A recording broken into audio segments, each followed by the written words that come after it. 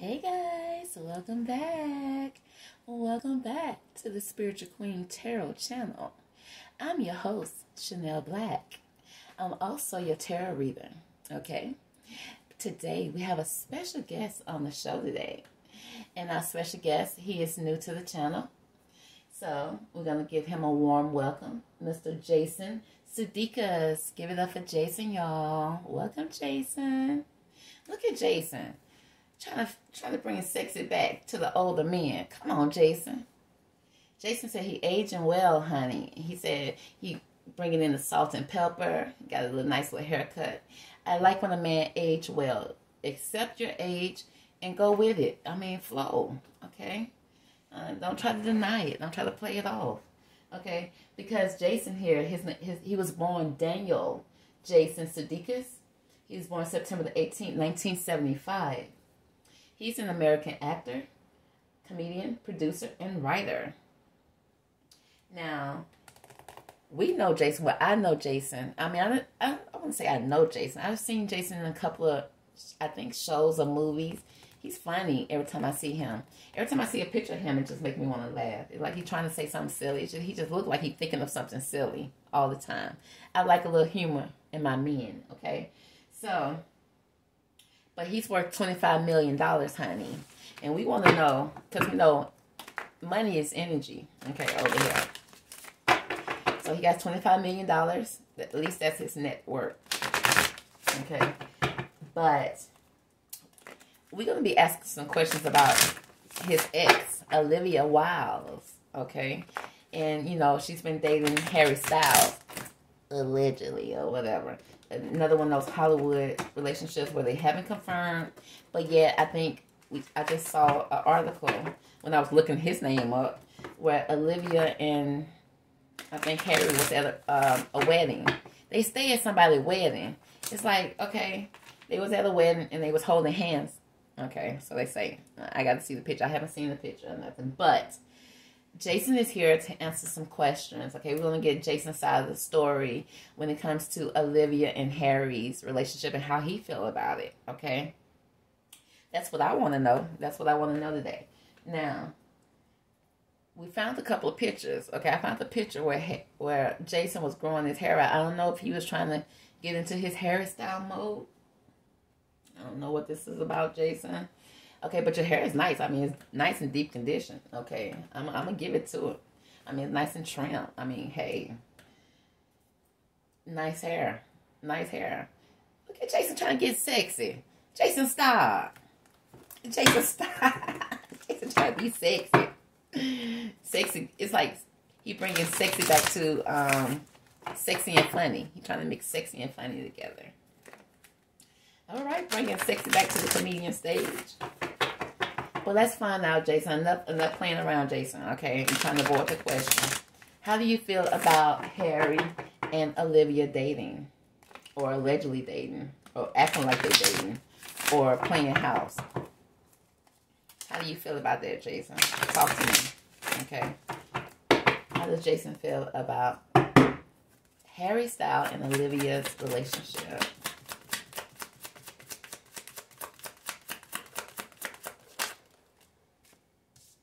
We the marriage card here. Honey, Jason said, you know, and this ain't the like sweet marriage, like, oh, we're sweet, we're married. I, lo- I'm, I love you.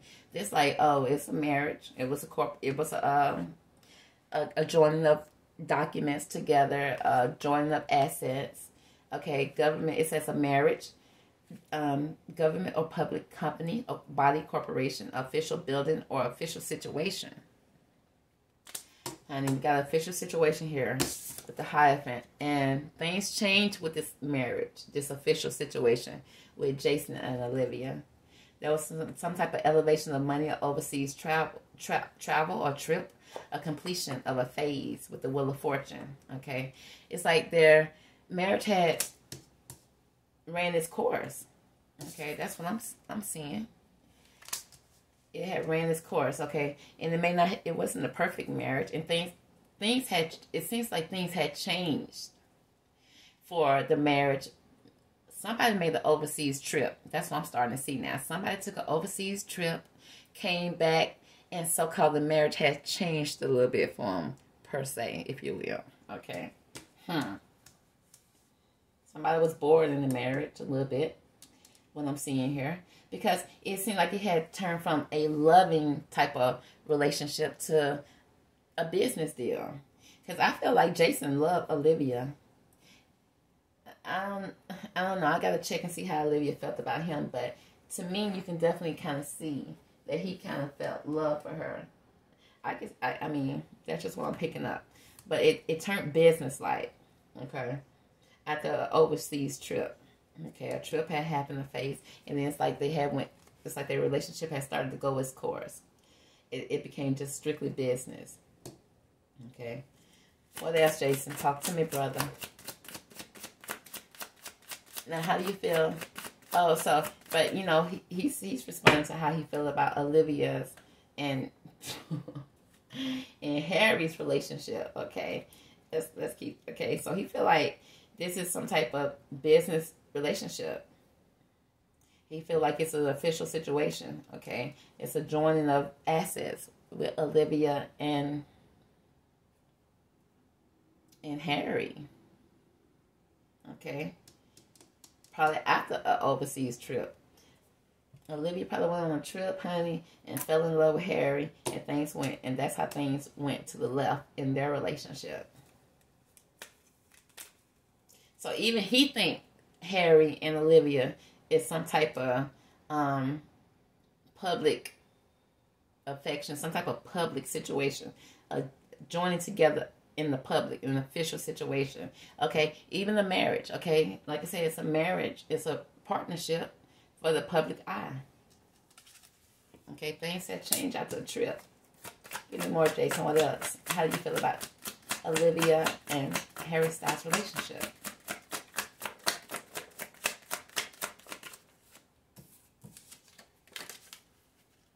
Okay, we got the King of Cups. Man over 25 years old, blue eyes, fair or brown hair, gentle, emotional, shy.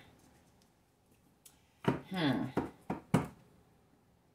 So, who is this King of Cups? I mean, King of Cups. I don't know about this King of Cups here. For Jason and how he feels about Harry and Olivia. And the King of Pentacles. Still speaking of a man over 25 years old with dark eyes, dark hair, business, arrogant, powerful. Okay, I see it now. So things had changed for the, the King of Cups. Because guess what? The King of Pentacles has stepped into the building, y'all. Olivia went overseas, went did some type of trip, maybe some type of business trip, okay, where she was working with somebody. It was official business. Started off official business, okay. The marriage was just fine before she left. Sister girl took went on this trip, went um, and then, honey, the relationship was complete at that point. It was ended. Okay, the phase was over. Okay, because his love, because he's showing up as the King of Cups. Like he was giving cups to her, love to her, and but the King of Pentacles came in with his pentacles, which is I'm seeing is Harry okay, who was business, arrogant, and powerful. Or the roles could be reversed here. But I don't see. We're going to see. Give me more. Give me more. Give me more. About how he felt about this relationship, this connection with Olivia Styles and Harry.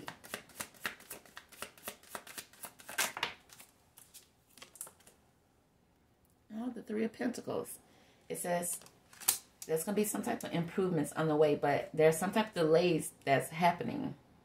He felt like there was some type of delays that happened in the marriage. Okay. And Olivia is like Olivia followed the pentacles. She was Olivia was following the pentacles, honey. I thought Olivia was the queen of pentacles. It looked like she was following the pentacles because it says improvement on the way, but there was some delays around it when it came to this Three of Pentacles relationship. this it falls upon the Hierophant, which speaks of a marriage, renewal, a place of worship. Honey, the marriage was no longer peaceful after this girl came back from this trip. And Olivia was working on trying to improve her pentacles, and she felt like she can only improve her pentacles by going with Harry, honey, because her pentacles were staying the same with Jason. What else, Jason? How you feel about Harry and, and honey? There was a raise in money and salary with the Six of Pentacles. He was very giving. It's like he felt like he was still giving to this relationship when it came to Olivia. He know the ties had started to change. He knows that after she came back from that trip, um, that he was still giving to this relationship. And he was trying to balance it out. He was trying to hold it together. But, honey, the wheels had changed. Karma, the wheel of fortune had came in, honey. Olivia had already had switched her mode when it came to this partnership. Or, honey, it was just a partnership to her at that point. She was over the partnership. Yep. And no matter how much he gave, no matter, no matter what, honey, she she didn't want it no more. She didn't want it no more. It's like he was working on the relationship, but she didn't want what he was given. She wanted that. She wanted that King of Pentacles, honey.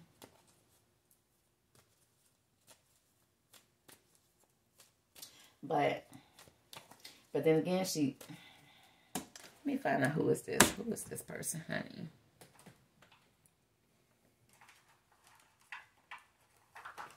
Give me more about this Hierophant. Let me break these cards down. Is the Hierophant here for Jason and how he feels about Olivia and Harry's relationship?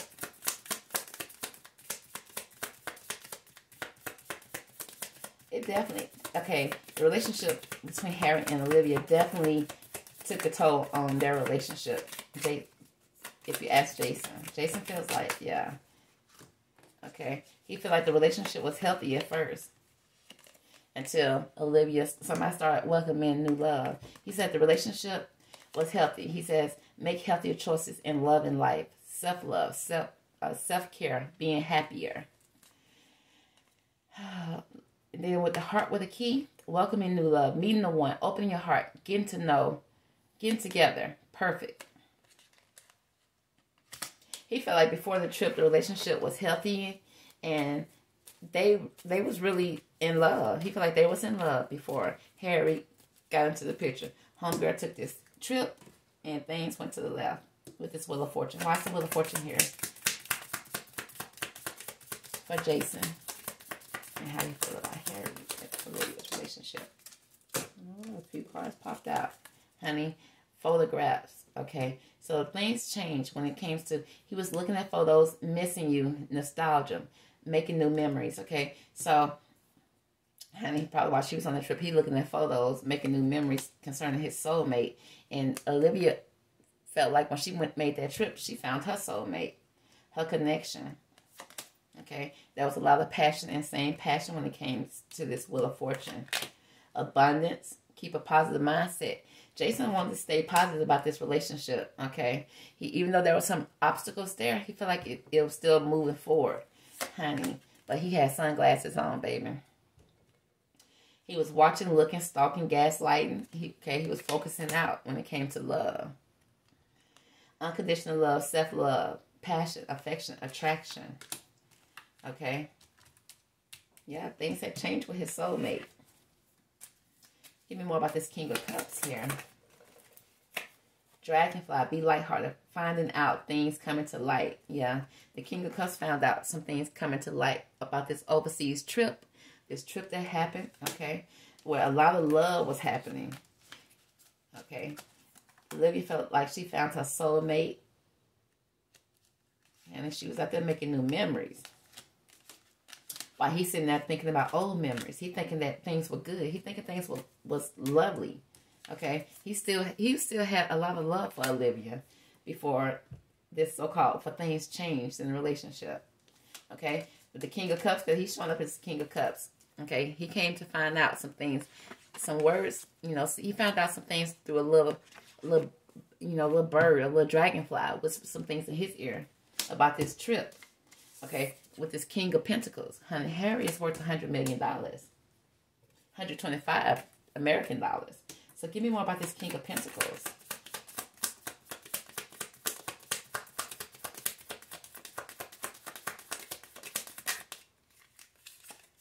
wedding rings, honey.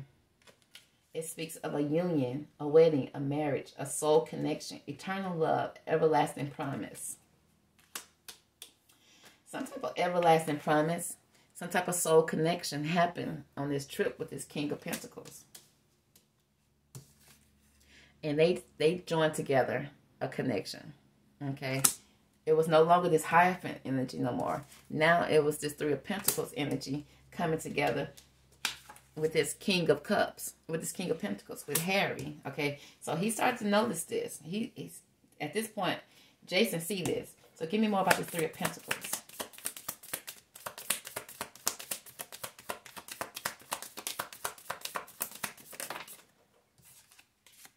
The Hammer Baby. Sabotage, rebuilding, integration, repetitive, persistent, working on it. So, yeah, at this point, he see that things was going to the left in this relationship. So he may even called in some type of counseling, probably took some type of counseling, trying to work on it. See, trying to rebuild something in this connection, trying to rebuild. He saw that Harry had stepped into this marriage, honey, with this wedding ring. Okay, Harry had came in. I don't know if he came in connected with her, with Olivia on a soul connection, something that she was lacking. But everything seemed healthy in their relationship at first until she made some type of trip. Okay, some type of completion, some type of money evaluations. I mean, elevation. Money started to come in for Olivia. Olivia started getting money motivated. Okay, and then so Jason was trying to work on this relationship. Okay, he probably tried to seek counseling and everything. He was giving a lot to this relationship. Give me more about the Six of Pentacles. Jason was still working on this relationship. Okay. Yeah, he's still working. We're going to move on to the Eight of Pentacles. Give me more about the Eight of Pentacles here. Wow. Because he's still in his emotion and his feelings. Okay, we got the butterfly. The butterfly. Stab in the back with the runner. So the butterfly is a relationship evolving to the next phase, healing the inner child. Some type of growth needed to be happening here. Okay, because somebody was stabbed in the back. Okay, heartbroken, pain, separation, deception, shocking, attack because somebody ran the hell out of the relationship. You know that's Olivia. The runner. The runner in the codependent, codependent relationship, fear of intimacy, listening to the ego. So, so while he was still trying to work on this relationship, Olivia ran out this relationship because she didn't want it no more she was being offered something that she didn't want no more at this point. And I guess Jason saw that. So why is the Four of Cups here for Jason and how he feels about Olivia and, uh, and Harry's relationship? But look, she running out the relationship. She running to something else. She didn't want the relationship no more. So, let's see here.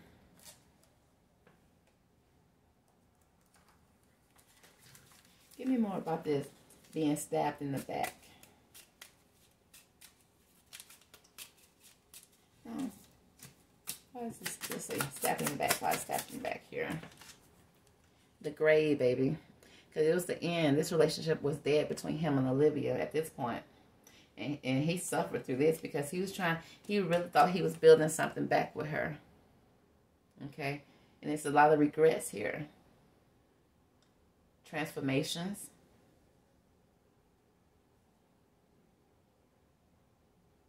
Mourning. Yeah, mourning the death because he was stabbed in the back.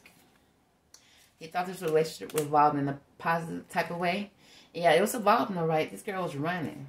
She, it was a running, a runner. And but the thing about it is, it's like something she connected with. She connected with Harry on something that she felt she was missing. Some type of inner child wound she is had. she needs to deal with. Okay, and he does too. Harry does too. Okay, that's the only reason why they're attracted to this type of relationship. So we got the Four of Cups here. Give me more about the Four of Cups.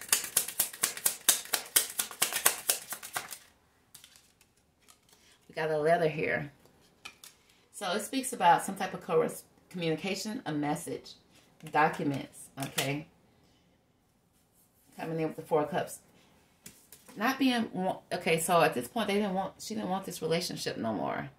So he didn't have no choice but to serve her some type of documents, honey. Okay, let me serve you paper, baby. You're trying to run. You can't run too far because I'm going to catch you. Okay? You may not want these documents, but you about to give them. Okay? Because you out here playing games. You're playing games for my marriage without without uh, rings. You know, you're not taking it serious. You're out there playing with this King of Pentacles. I'm out here working on this marriage. I'm working on it with my feelings. I'm putting my feelings out here, and you just running from it. You backstabbing it when all along you knew it was over. Tell a man it's over, okay? He over here with the hammer and trying to build something. He thought he was building back with this. He thought he was building back better, and he wasn't, okay? Because all along she was running. So, let me see. Let's give him some words of encouragement, honey.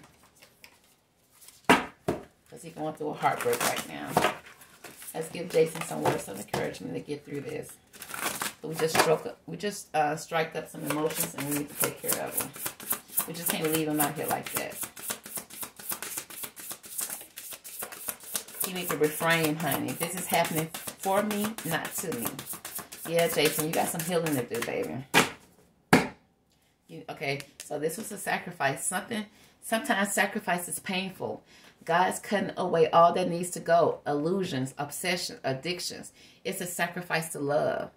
Okay, yeah, y'all was in toxic relationship, and I think Olivia done ran from one toxic relationship to another. She thinks she she looking for something, but she really needs to find the love, self love within herself. Okay, but this ain't refrain. This is happening for me, not to me. Okay, so that is that's going to conclude the reading for Jason and how he feels about the connection between Harry and Olivia. Okay.